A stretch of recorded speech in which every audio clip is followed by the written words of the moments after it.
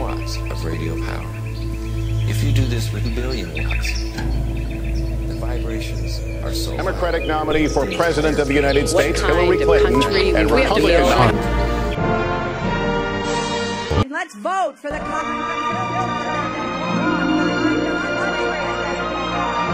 So I've tried to be very We have to build an specific economy about what for we everyone, can and Human rights are women's rights, and women's rights are human rights. once and for all. bing bing bombing bombing. Like mosquitoes. The world is.